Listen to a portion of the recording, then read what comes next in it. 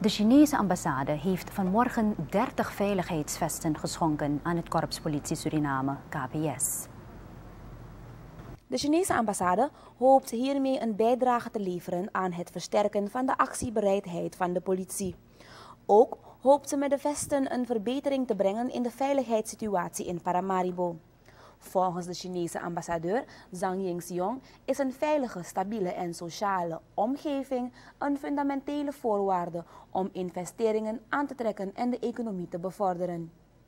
Beïnvloed door verschillende factoren komt Suriname met tijdelijke economische moeilijkheden en het neergaan van veiligheidstoestand.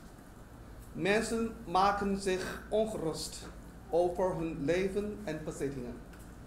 Twee dagen geleden is de familie van de heer Liu Yiqiang, ondervoorzitter van Guangtangshen, beroofd en zijn vader stierf aan de zware verwondingen.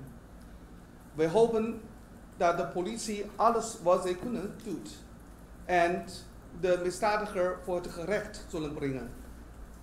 We willen heel graag doorgaan met ons ondersteunen en de rol van brug spelen tussen de kops, politie en de Chinese vereniging, verenigingen, Chinese bedrijven en de Chinese Develop, Chinese Development Assistance Center. Shang Jingxiong, de Chinese ambassadeur in Suriname. Korpschef Agnes Daniel geeft aan dat deze schenking tot stand is gekomen nadat er bij een kennismakingsbezoek van de Chinese ambassadeur een verkennend gesprek is geweest over een mogelijke samenwerking.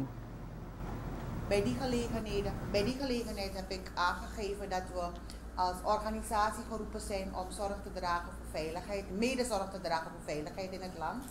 Maar dat we ook een verantwoordelijkheid hebben naar onze medewerkers om ervoor te zorgen dat ze goede werkomstandigheden hebben. En een onderdeel van die werkomstandigheden is dat hun uh, uitrusting met betrekking tot veiligheid ook op een bepaald niveau is.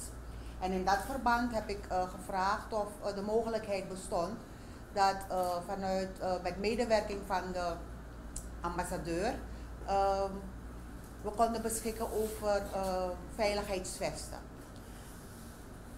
En vandaag is het zover dat we um, 30 veiligheidsvesten in ontvangst mogen nemen.